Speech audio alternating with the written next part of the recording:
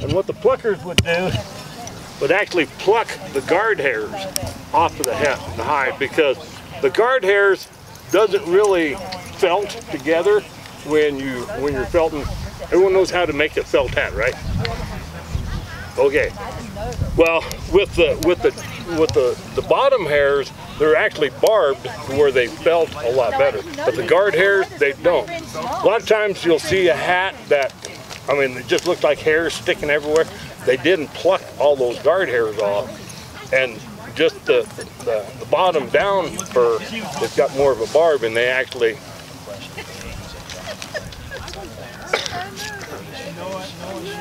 She's over here just shaking her head like, yeah. But see how Oh, yeah. it's almost like Oh, yeah. almost like a wool. Oh, clearly, yeah. And it it felt just go ahead and pass it around. But it felt better and that's why the mountain men were up here was to, to make the felt hats for the Eastern and uh, European hat was quite the thing. The main downfall of there's a couple of the reasons why the downfall of the beaver came about. trying to get, you know, trying to find beaver in, the- eight, late 1800s was the beaver population had declined because of all the trading and the trappers, a lot of pressure. Then they came up with an animal in South America called the nutria, and the nutria is looks like a big giant overgrown muskrat. The hide that from the nutrias they could buy in the 1840s for like 50 cents, where a, a pound of beaver would cost you five dollars. The nutrias was costing you nothing, and they could have the same production of the felt. So they was like, hey, you know, and then all of a sudden they came up with the silk hats. And once they come up with the silk hat, then all they do is they they're trying to get the worms. So luckily enough, the the wor- or the silk hat came along because if not, there wouldn't have been any beaver left because there's no there were no beaver in Europe because they'd all been trapped out. That's why the American fur market mainly depended on you know making the hats. Ready to start skinning yet? Before we open it up, does anybody want to take a picture with the beaver? Let's see if we can get him to do it. Yeah, I did. I did. Go. he ain't gonna stand up, is he? Yeah, he's getting real. Let's go. go sit down really quick. Here, I'll hold him up for you. Go sit down. Ready? Put put an arm over him. Here, Auntie Shelby, go on You the other like side. hugging your bed. There you go. Oh, sweet picture. Ready? Take a picture with the beaver. Hold on, we got two more. Come on over. Yep. You gotta pet him. It's like a little puppy dog. You gotta pet him. Yes, he's dead. Okay, ready, Isa? In fact, I can Oh, uh, smile. Okay, Isa. Okay, ready? if, if One, two, three. method of how The Anchorberg Humperdinck. Perfect. Guys, yeah. They're, they're worse than, Is there worse still a than market lawyers. for beaver then? What's that? Is there still a market for those pelts? Oh yeah, oh yeah. Well, like you were saying, in Utah, for a prime blanket, six dollars. Six dollars. Yeah, yes. What I do with my beaver is I send them off to a tannery in Duluth, Minnesota, and for twenty-seven dollars and fifty cents, I can have one tanned. Then I turn around and sell them to the unsuspecting public for twice as what I've got invested in.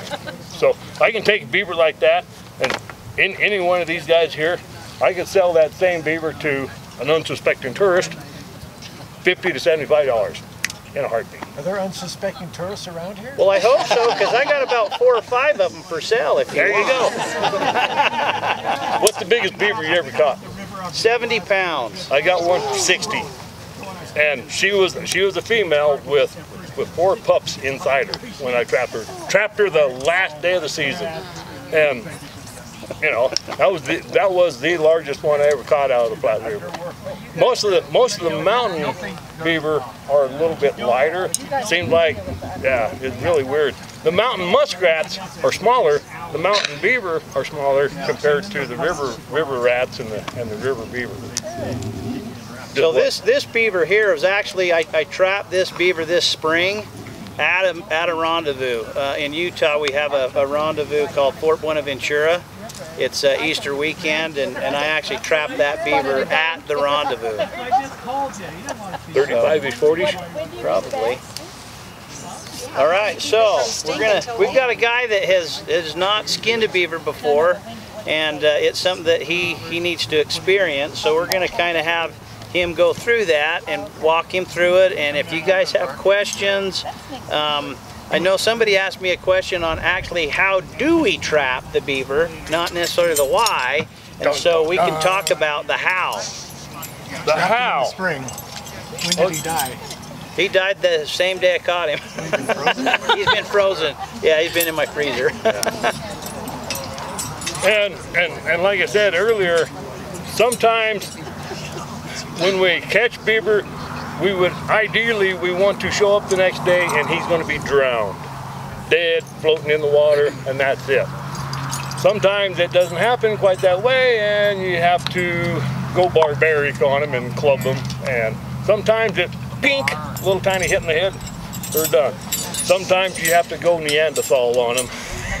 And in, and in the history of, of the fur uh, trade, the rendezvous period was really a very short time of the overall, because you have the French period of the fur trade, the British era of the fur trade, and most of the fur during those was actually obtained through the native people, and they weren't trapped with steel traps like this. This came right at the very end, kind of of the Cutting out the middleman. yeah. And so most most of the beaver that were trapped or were, that were taken were taken by natives, and they were they were clubbed, they were just whatever they speared, could do. speared inside the den. What they'd do is they'd find a den or a, a, a lodge, and they'd block it off. Then they'd tear apart the top of the top of the lodge, and they actually had spears that they'd go in and just spear them right inside to where they couldn't get away from. And and there again, back in the in the trade days, if you if you sliced a hole in the beaver or even shot it, no big deal because all they wanted was the fur. Nowadays, oh my lord, if you got one little tiny nick, it's a five dollar discount. Like, oh man, I can't pay you for that hole. So that's why I send mine off because I don't have to deal with the fur buyers. So fur And buyers, it's a lot they more lucrative for us because you guys, you know, may want to buy a beaver pelt, and, and so rather than me selling that for six bucks, I put the, the 25 tw- to 30 dollars in it to get it tanned and, and, and sell it, make a little bit of money because, you know, it, it does, you, you don't make money trapping these days because generally you got you gas, because you enjoy it. you, yeah, so most of the stuff that I do anyway is is depredation. Oh, so the, the beaver are places where they shouldn't be, causing problems. In the United States, beaver cause millions and millions of dollars of damage, and so guys like us have to go in and control those those populations and those numbers. Now, in Colorado, you cannot use this steel jaw trap to catch beaver. And I know of no other way to catch them to get rid of them. But down there, they actually have these big giant cages, and the beaver gets inside it, comes around and catches him inside it. Then the next morning, you come in there either with a 22 or a billy club and take care of it. But in case you happen to catch a dog or a small child or something like that in it, then you you know you can always release them. Go go back home, you know. Um, so why call I think California is getting that way too, where you can't. You have to. Well, I know for a fact that Washington State, you have to live trap them. And if you ever catch one, once in that trap, you'll probably never catch them again. It's kind of like catching toads. You ever caught one missing a toe? Hardly ever. I've caught one in all my years of trapping. I've caught one beaver that was missing a toe. Right, evidently they realized what to stay away from, and it kind of makes them a little trap wise, and they just stay away from there.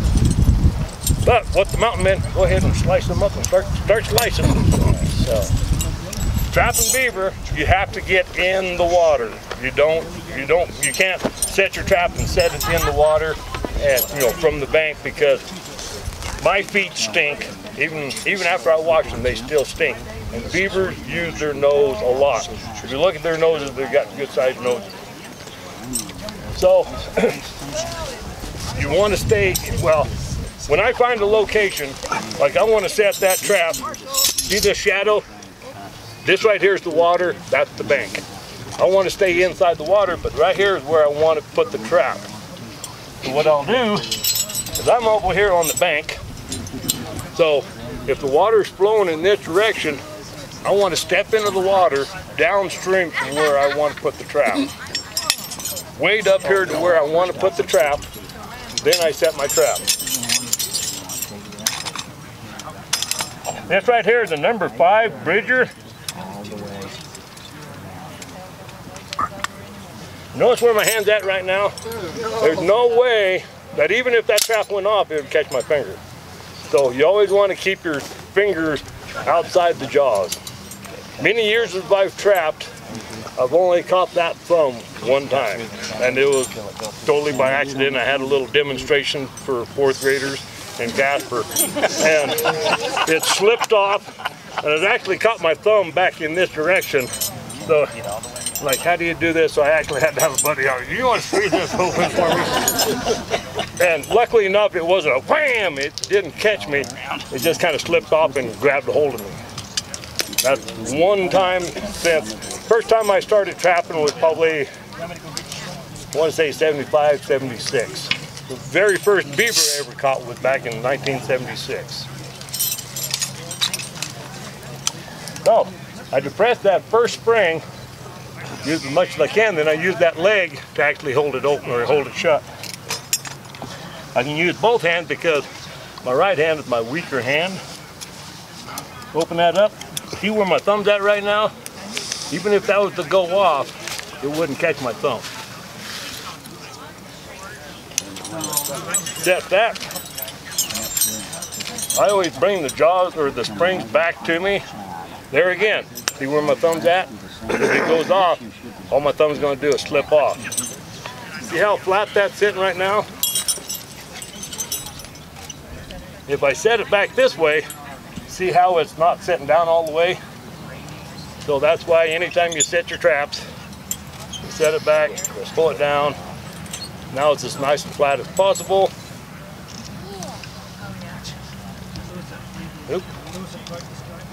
Then what I did just then was I fine set the, the trigger where when the beaver comes along and he steps on that trap, all he's got to do is just barely move it. Watch how far that moves before it snaps. I mean, all he's got to do is just barely hit it and it's going to catch him. These jaws are designed a big enough hole, big enough uh, space here that when it catches these beavers, it'll catch them deep to where sometimes if you catch them on the front foot, they'll actually wring their foot off. Or if you just catch them by the toe, they'll wring their toes off before they get a chance to drown. river is right there.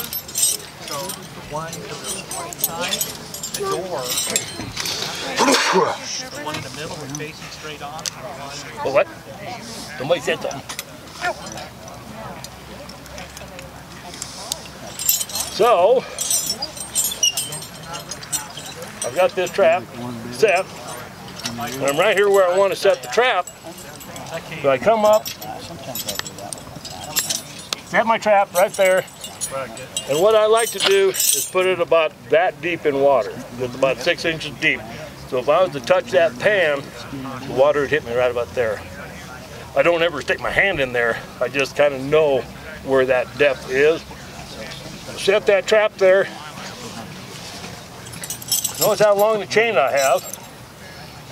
And the extra rope. The rope is for, I take a stake and come back over here where the water's a lot shallower instead of out here where it's that deep. I can take this and stake it inside the water, not up on the bank. I want it to be inside the water because I've had twice that I couldn't stake it in the water. I actually had to stake it on the bank. Both times the beaver will actually take that rope and bite it and cut it. I've had I've had to do it twice, and both times the beaver has cut it. It just it happens. I don't know why why a beaver would single out that rope rather than you know chewing everything else up. So the next morning, after the beaver comes over here, well, let me let me back up a little bit. The castor gland that that we're going to pull out of there you take that and you take a stick, good sized stick, and dip it in that beaver castor. And all you need is just a little dab, a little kind of like dippity do, just a little dab will do this. Dip that in there, and then I stick it most time in the water, stick it in the bank to where it's hanging over the trap, but still about six inches away from it before they get to the trap. Then I'll use sticks, natural sticks that's around, you know, beaver chews and stuff like that, and kind of funnel the beaver into right there. So you put them sticks there, and the beaver comes along, and he can smell that castor gland. The beavers always use the castor gland to mark their territory, kind of like a dog hiking his leg. But whenever we use that castor gland, it's not from this creek. It's from that creek way over there. Because the food that they're eating is just a little bit different and their castor gland will actually smell a little bit different. So here's Mr. Beaver, he's swimming downstream and all of a sudden he's like, hey, hey, hey, wait a minute, what's going on here? And he can smell that castor, he'll come over to investigate and if you have that stick about a foot above the water, but in behind the trap, he's coming over the bank. Whenever a beaver is swimming, they always have their front legs kind of just dangling there, and they're swimming with their back legs. And when they get close enough to the bank, they start feeling for the bank. And first thing they do is they find that trap. He's trying to jack, you know, and I want that beaver to be up on his tippy toes smelling for that, that castor gland. And he's tippy toeing, and people say, well, the water's going to be murky to where he can't see it. I've had clear water because up in the mountains, the water's nice and clear. And you can see the trap from the bank. But the beaver, he's not looking underneath the water. He's looking for that beaver castor. And they'll come up. Then what they'll do, dun, dun, dun, try to do this, but I catch, ah, my foot, no. He jumped. Pictures of him because he's doing it. So the beaver's caught, and the weight of that trap is enough to drown a beaver. It is not. Usually, what I'll do is I'll take a canvas bag, put some river rocks in it, or creek rocks, and then wire it just about right there. When the beaver dives, he'll he'll dive. When he first gets caught, he still has quite a bit of energy.